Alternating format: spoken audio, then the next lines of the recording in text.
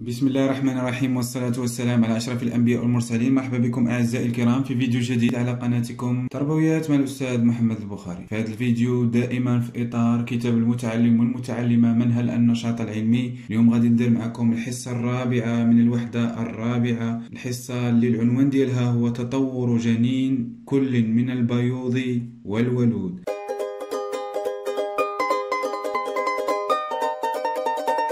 اذا غادي نتعرفوا كيفاش كيتطور الجنين ديال الحيوانات البيوضة وكيفاش كيتطور الجنين ديال الحيوانات الولودة دائما ضمن الوحدة الرابعة الخاصة بتوالد الحيوانات. اذا الأهداف ديال هذا الدرس هما استنتج أن جنين الحيوانات البيوضة ينمو ويتطور داخل البيضة. يعني غنستنتجوا بأن جنين الحيوانات البيوضة كينمو وكيتطور داخل بيضة أما بالنسبة لجنين الحيوانات الولودة ينمو ويتطور في بطن أمه. كينمو وكيتطور في البطن ديال الأم ديالو. جيد. إذا دائما كما عودتكم كنبدأو بصورة الانطلاق وكذلك بالوضعية المرفقة في ألاحظ. إذا لاحظوا الصورة تبين ولادة عجل وخروج كتكوت بعد الفقس.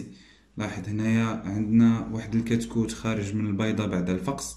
وهنايا عندنا واحد العجل عجل صغير. بعد ولادته مثلا بدقائق. مفهوم؟ الآن غادي نقراو هذه الوضعية. صادفت زيارة سمير لضيعة عمه ميلاد عجل وفقس بيضة دجاج والتقط صورا كما تساءل عن الفرق بينهما. إذا هاد سمير زار عمو اللي في البادية. داكوغ؟ وصدف بأنه هاد عمو غادي تولد له البقرة وغادي تفقس له كذلك الدجاجة الكتاكيت الصغار والتقط صورا عديدة لهذه هذه العملية يعني آه، ميلاد العجل وكذلك تفقيس البيضة يعني خروج الكتكوت الصغير. سهاد خبير. إذا آه، بوضع العلاقة ما بين هذه الوضعية وكذلك بالصورتين المرفقتين لها غادي نحاول نقترح سؤال التقصي وكذلك غادي نعطيو الفرضيات من أجل التحقق منها في أتحقق إن شاء الله. مفهوم؟ إذا سؤال تقصي اللي غادي نطرحه إذا كما عودتكم ولينا كنكتب نكتبوا سؤال التقصي في الدفتر جميعا. اذا سؤال التقصي والفرضيات. اذا سؤال التقصي اللي يمكننا نطرحه هو هذا.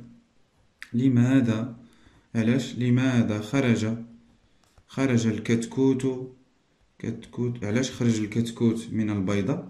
من البيضة. من البيضة.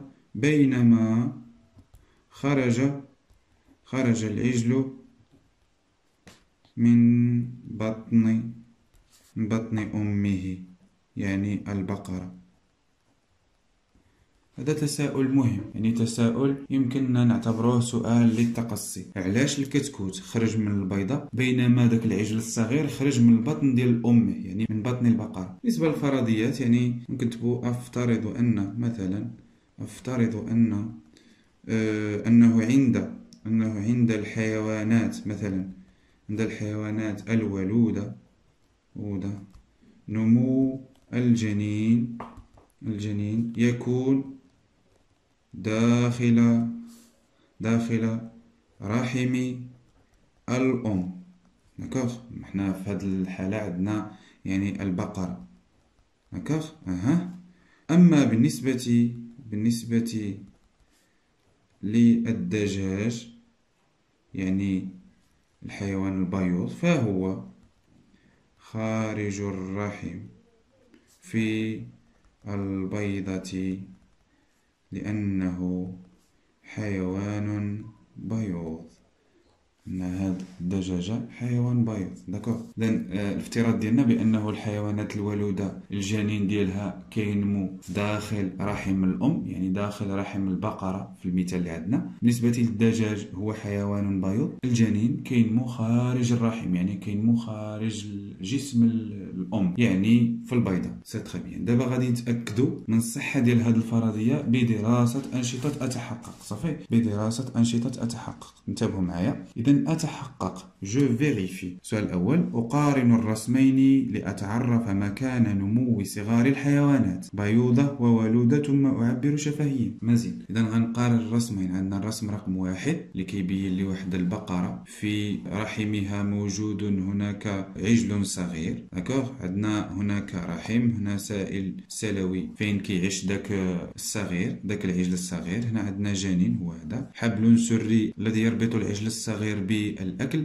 اذا من هذا الحبل السري فين كياكل هذا العجل الصغير؟ أها حبل سري به عروق دموية. اذا داك الحبل السري كيكون فيه عروق دموية تسمح بمرور داك الغذاء إلى العجل الصغير. مفهوم؟ بالنسبة للصورة الثانية كتوضح لي ماذا؟ كتوضح لي دجاجة. ها هي. هنايا في الدجاجة ما عندناش جنين. إلا لاحظتوا هنا ما كاينش جنين كاينة بيضة. من بعد عملية الحضن من طرف الدجاجة كتعطيني بيضة فيها كتكوت صغير. d'accord. اذا هذا الكتكوت داخل البيضة. اذا هي القوقعة. هنايا عندنا محن شعيرات دموية أبيض البيض هذا هو الجنين يعني هو الكتكوت. وغرفة الهواء يعني موجود هواء لكي يتنفس هذا الكتكوت. جيد. اذا هنا جنين في بيضة وهنا جنين في بطن أمه. صافي. عرفنا الفوارق. مفهوم؟ هنا لاحظتوا الجنين موضوع أو موجود في رحم الأم لكن هنا موجود داخل البيضة خارج رحم الأم. جيد. ثانيا استنتج كيف يتغذى الجنينان وظروف تطورهما. يعني غادي نستنتج كيفاش كيتغذى هذا الجنين هذا اللي هو عبارة عن كتكوت في بيضة وكيفاش كيتغذى هذا الجنين هذا اللي هو عبارة عن عجل صغير داخل رحم أمه أي البقره إذا الاستنتاج هو كالتالي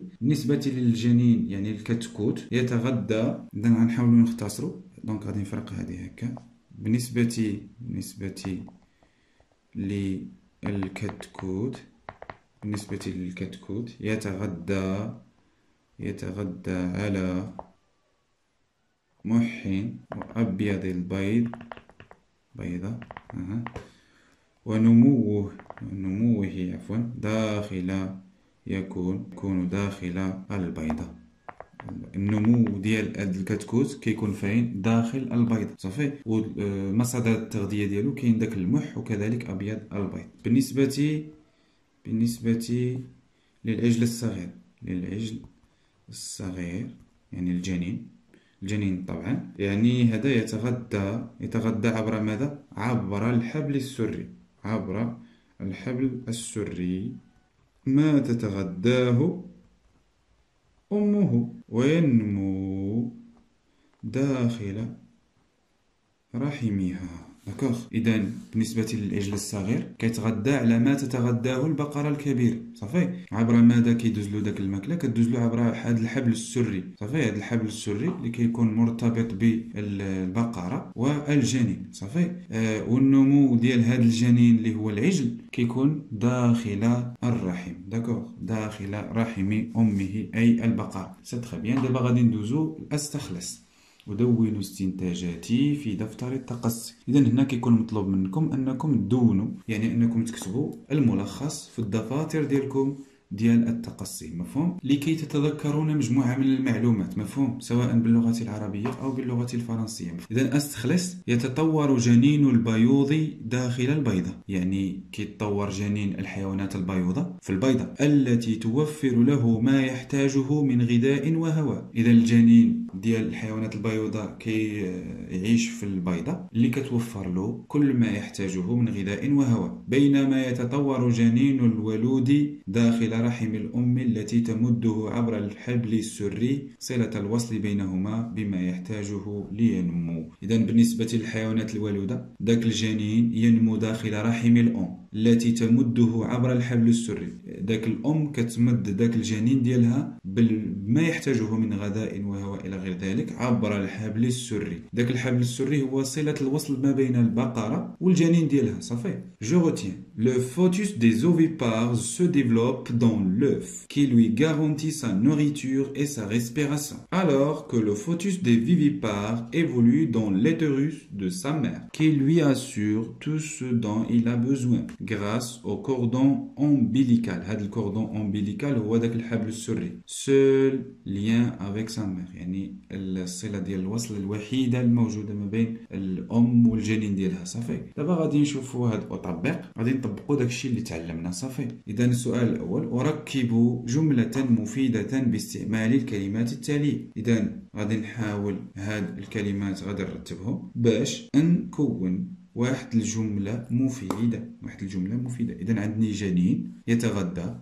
الطيور بعيدا أمه البيضة عن بمخزون جيد. إذا أول حاجة غادي نبداو بها هي يتغذى يتغدى ضربوا عليها. يتغدى شكون؟ جنين يتغدى جنين جنين الطيور. جنين الطيور.